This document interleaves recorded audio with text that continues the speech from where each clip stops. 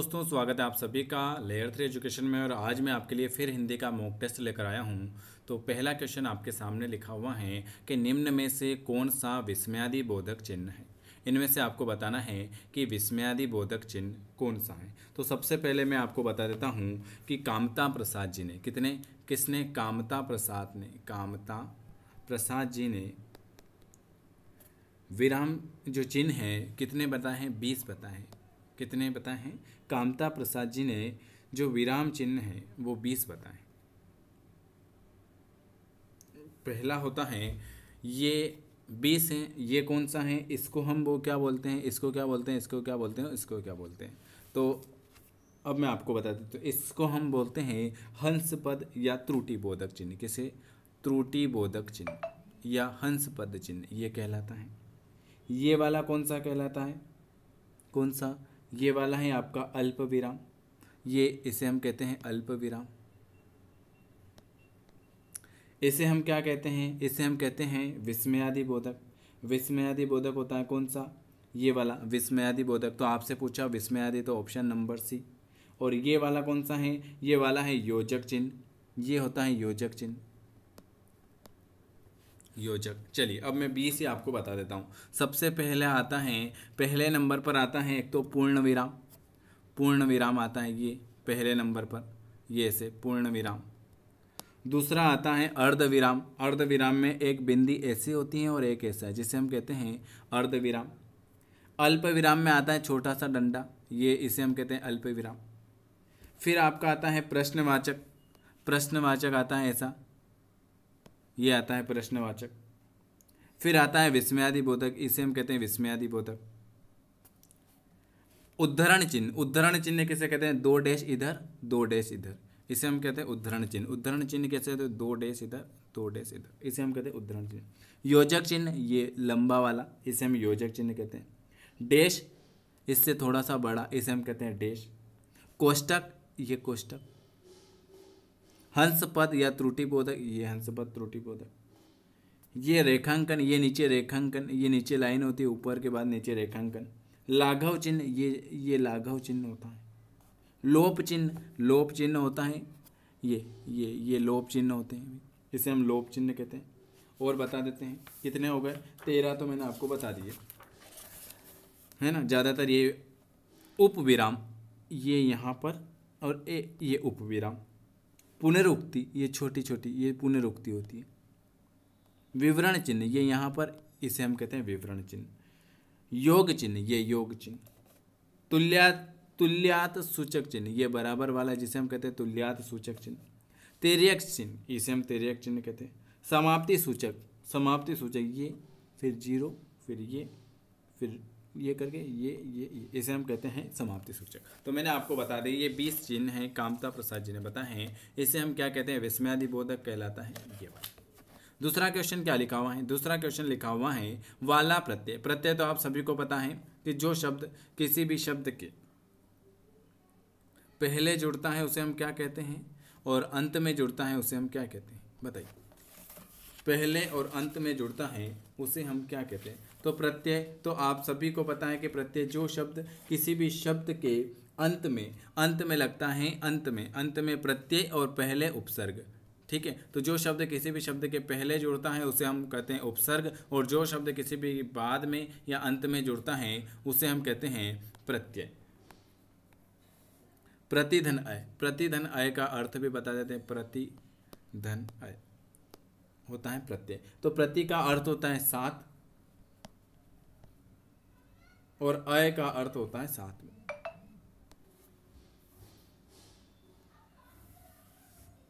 चलिए तो प्रत्यय, ठीक है?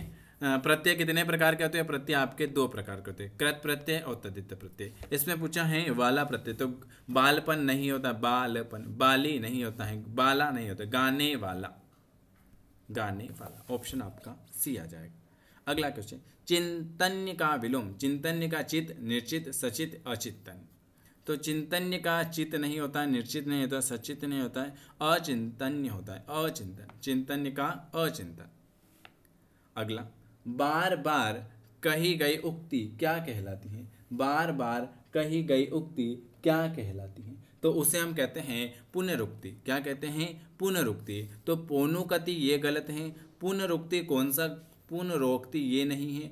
पुनरुक्ति पुन रू आधा क और ती। इसे हम ये वाला पुनरुक्ति सही होना चाहिए। पुनरुक्ति, बिल्कुल ये वाला पुनरुक्ति सही बार बार कही गई उक्ति पुनरुक्ति कहलाती है तो सही वाला कौन सा हो जाएगा? ऑप्शन आपका बी वाला हो जाए। पानी परात को हाथ छुओ नहीं, नैनन के पग धोए। नैनन के जल से पग धोए, इसे कौन सा अलंकार कहते हैं? बताइए। वेरी वेरी गुड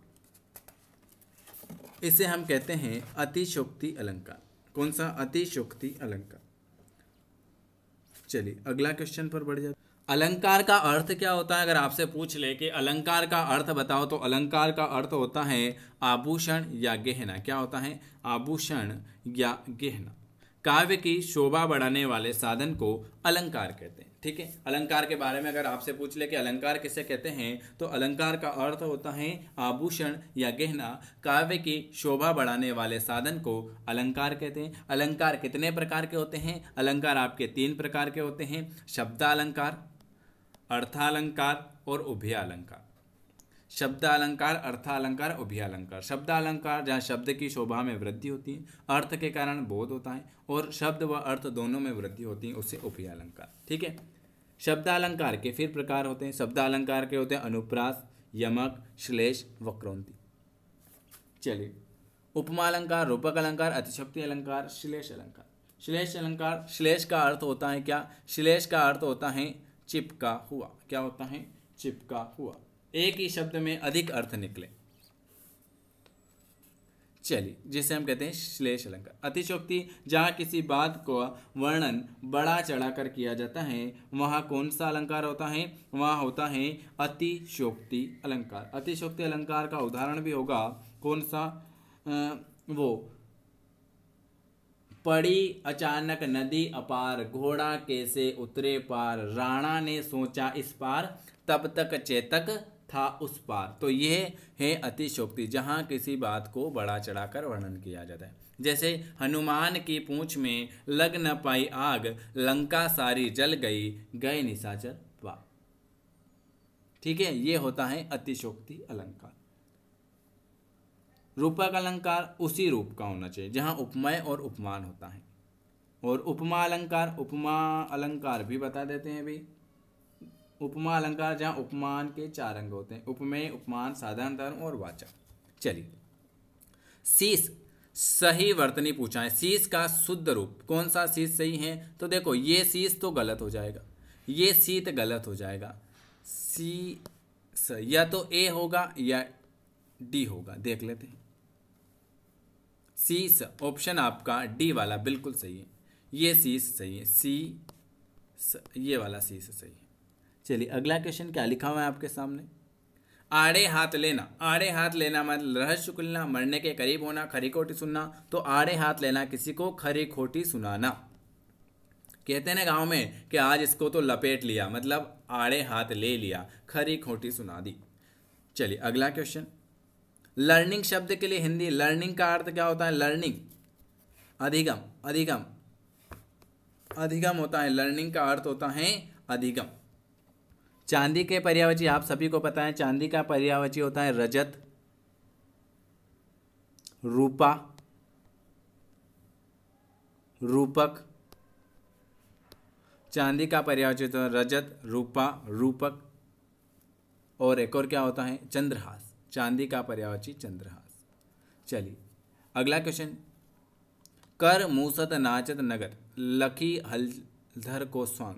हँसी हँसी गोपी फिर हंसे मनहू पिए सी भाग। में कौन सा रस है तो पहले तो रस किसे कहते हैं? तो आप सभी को पता है, कविता, कहानी, उपन्यास, नाटक आदि को पढ़ते या सुनते समय श्रोताओं को जिस आनंद की अनुभूति होती है, उसे हम क्या कहते हैं? उसे हम कहते हैं रस। रस कितने प्रकार के होते हैं? रस आपके आठ प्रकार के होते हैं। ये किसने कहा था? भरत मुनि ने रस की संख्या आठ मानी है। नोवा कौन सा है? नोवा आपका शांत रस है। और ग्या, दसवा कौन सा है? दसवा आपका कौन सा है? वात्सल्य। और ग्यारहवा है आपका भक्ति रस। अब इनके स्थायी भाव भी देख लेते हैं। हास्य रस का स्थायी भाव क्या होता है? हास्य रस का स्थायी भाव होता है हास। शांत रस का स्थायी भाव बताओ भाई। शांत रस का स्थायी भाव क्या होता है? और भक्ति और वात्सल्य। वात्सल्य रस का स्थायी भाव होता है वात्सल्य विषयक वात्सल्य विषयक रति। तो इसका वात्सल्य तो होगा नहीं। भक्ति रस का स्थायी भाव क्या होता है? भक्ति, अनुराग, भक्ति रस का भक्ति होता है। शांत होगा शांत। शांत रस शांत रस हास्य रस कर मूसत नाचत नगन लकी हलदर को स्वांग, हँसी हँसी गोपी फिर हँसी हाँ हास्य रस का स्थायी भाव होता है हास, और ये गोपियाँ क्या कर रही हैं? गोपियाँ हंस रही है तो ऑप्शन आपका ए वाला आ जाएगा। शांत रस का स्थायी भाव तो आप सभी को पता है शांत रस का होता है निर्वेद। शांत का स्थायी भाव क्या होता है? निर्वेद। इन सब के स्थायी भाव आप अपन एक बार सारे में आपको बता देता हूँ। तो श्रृंगार रस का स्थायी भाव पूछे तो श्रृंगार रस का स्थायी भाव होता है रति। हास्य रस का होता है हास। करुण रस का होता है शोक। वीर रस का होता है उत्साह। रौद्र रस का होता है क्रोध। भयानक का होता है भय। विभत्स का होता है जुगुस्सा या घृणा। शांत रस का होता है निर्वेद। अद्भुत का होता है आश्चर्य। वात्सल्य का होता है वात्सल्य विषयक रति, और भक्ति रस का होता है भक्ति विषयक रति। तो ये मैंने आज आपको दस क्वेश्चन के और क्वेश्चन कराए। आपको वीडियो अच्छा लगे तो लाइक कर सकते हैं चैनल को सब्सक्राइब कर सकते हैं। डेली हमारे क्लास के साथ जुड़ना चाहते हैं तो आप इस नंबर पर व्हाट्सअप कर सकते हैं। Nine seven five three seven four double nine eight six पर आप मैसेज कर सकते हैं। जिनको डेली हिंदी की क्लास नहीं मिलती है, वो मैसेज कर सकते हैं। इसके अलावा आपको नोट्स अवेलेबल हैं, जो हिंदी ग्रामर की तैयारी करना चाहते हैं उसके लिए। आपकी मैराथन क्लास भी रहेगी आजकल में, एक दो दिन में। तो जो नया है चैनल को ज़रूर सब्सक्राइब करें बेल आइकन प्रेस करें। हमसे जुड़ना चाहते हैं तो ज़रूर जुड़े। वीडियो देखने के लिए धन्यवाद।